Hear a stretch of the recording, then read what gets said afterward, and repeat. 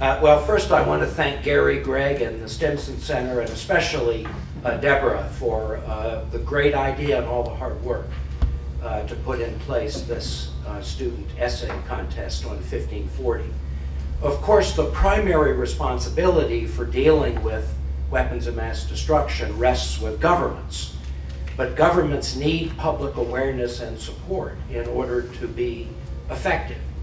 And we rely on uh, the work of, uh, of informed citizens, including the students who participated in this contest, to generate fresh and cogent ideas to help guide government action.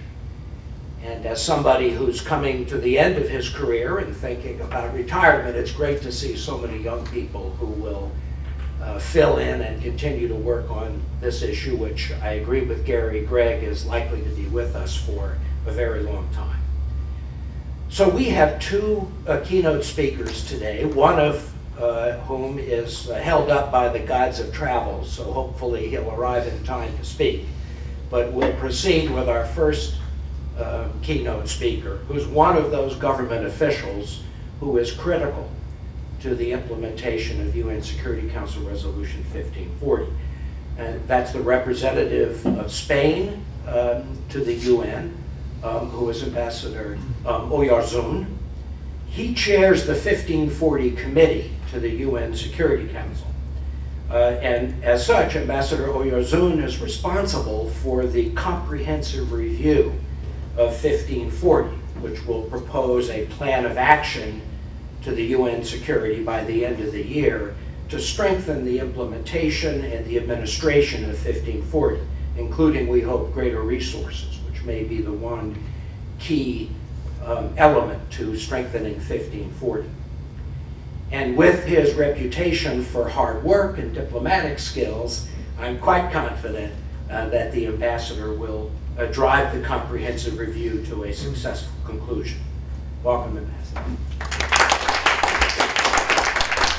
The world today is a challenging one. On August 21st, 2015, ISIL shed the Syrian city of Marea with artillery shells filled with mustard gas. Victims had no shelter, as there is no escape from polluted air.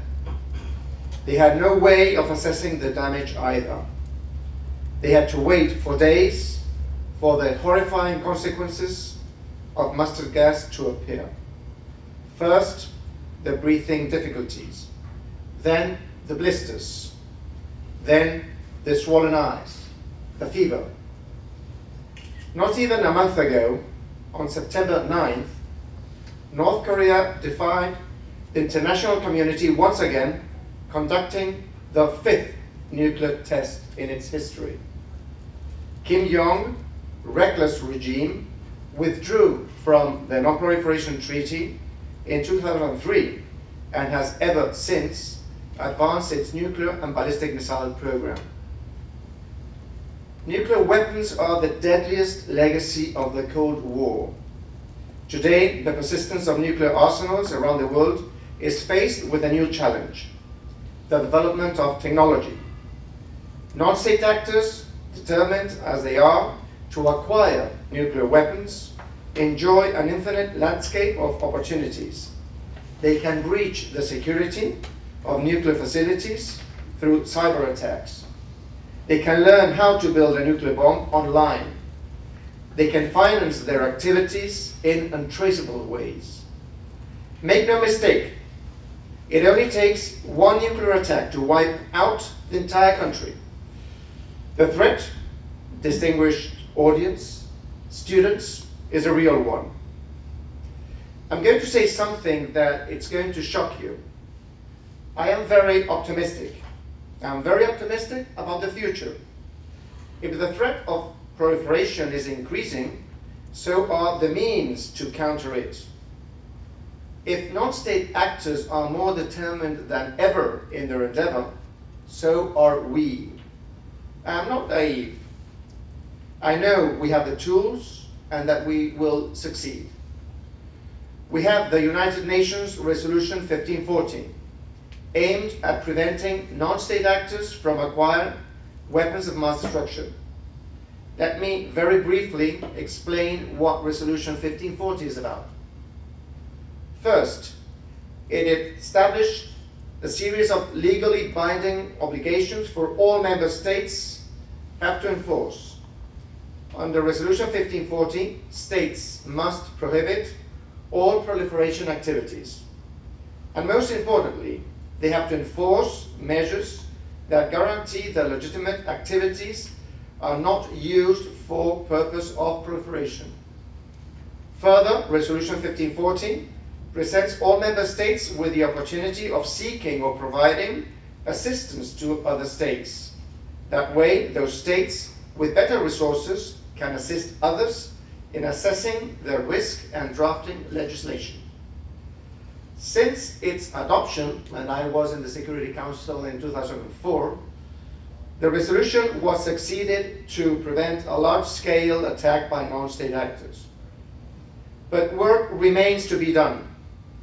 As we mark the 12th anniversary of the text, the Security Council is engaged in making it fit for purpose again. And I have people here around in this room that are working 27, 24-7 on that purpose. I can see Javier, he works uh, with me 24-7. I see Terry, and I see young experts as well. So, during this year, we have made an assessment of the new challenges before us. We have also taken stock of the successes and the failures of the resolution. Now, I am pleased to say, we are ready to update it to the current environment. For that, although my notes do not say it, I will be needing to meet the consensus of the 15 members of the Security Council. And that's going to be the real, real challenge. We have been preparing this work for, well, since I entered into council, since Spain joined the council. And the review process has been prepared very, very carefully. But we have to negotiate day and night in the next 60 days because our intention is to adopt the review in the first or second week of December when Spain presides the Council. But which is our tool? We have youth. We have you, the students. Today I stand in front of you. I stand in front of hungry and bright students. And I want to be ready to take the lead and raise the grim picture I presented at the beginning of my speech. I am confident that you will do it. Let me tell you something to the students. Previous generations had the choice to take responsibility to make the world a safer place or to turn a blind eye on the world's problems. You don't. Threats are global. Terrorism is global. A nuclear attack would be global. So, your choice today is a very different one. You can choose to be cynical about the future and simply assume that a world threatened by weapons of mass destruction is what we are in for. Or you can choose to fight global threats. If I want one message to resonate today with you, is this one. To those who say catastrophe is inevitable, to those who resign to chemical warfare as the new norm, you have to say, it is not. I can't imagine how many times a day you hear that you are the leaders of tomorrow.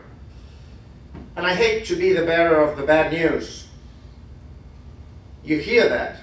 It is true. But please, don't wait to be world leaders to take action. Do it today. Do it by promoting a culture of security, by taking seriously the country's institutions, by understanding that regulation is not here to burden you, but to burden the bad guys, by not allowing corruption at the small scale, because that will only lead to corruption at a larger scale. Do it countering terrorist narrative online. Some of you have already taken action, and I'm proud of it. I have read some of the essays that were submitted to the contest, and I'm truly impressed.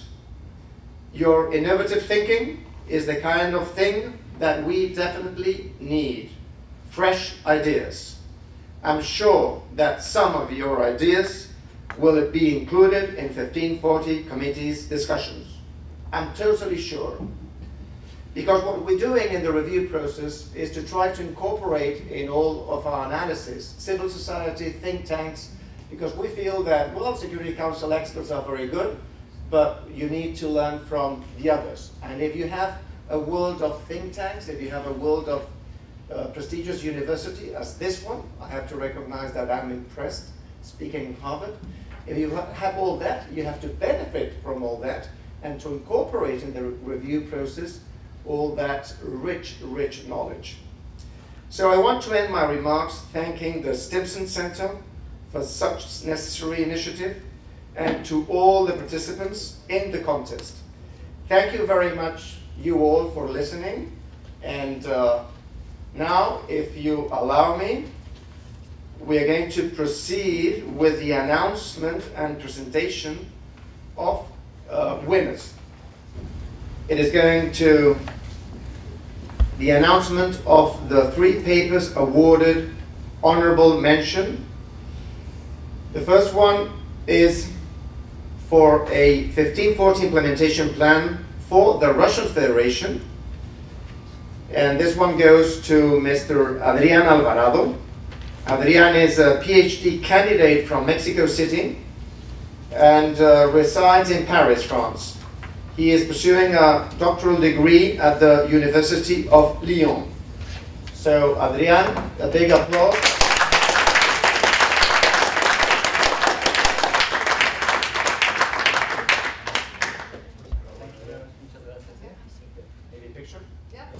For uh, 1540 implementation plan for Qatar, Mr. Landon Elliott Poe and Ms. Srali, sorry about the pronunciation, Rajeswari. Landon was a cadet at the Citadel Military College of South Carolina and will be pursuing a master's degree in the University of Cambridge in the United Kingdom. Sri will be pursuing her third and final year at the University of Cambridge this fall. They will, they will be joining us later by WebEx. They're in Cambridge. By WebEx, very Okay. good. For an implementation plan for Turkmenistan,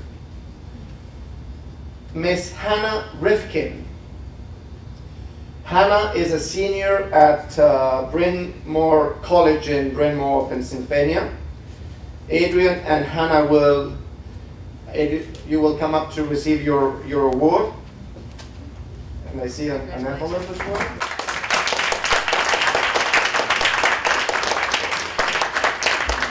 It is the announcement of uh, the winner of the second place. And it's for the 1540 implementation plan for the United States. And this is Ms. Kyle Piluti.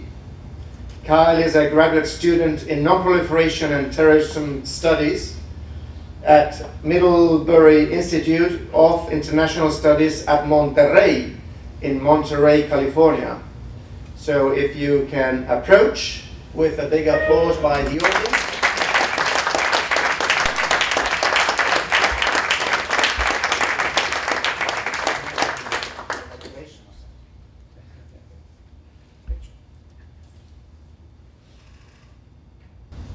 And now I am proud to announce the winner of the first place. And it's for his 1540 implementation plan for Tunisia, Mr. Enrique de Vega Gonzalez. I pronounced this very well. Enrique is a master's degree student from Plasencia, Spain, and currently resides in Madrid, my city. He is pursuing a master's degree in peace, security, and defense at the Gutierrez Mellado Institute. So, uh, Enrique, if you can approach with a big applause by the audience.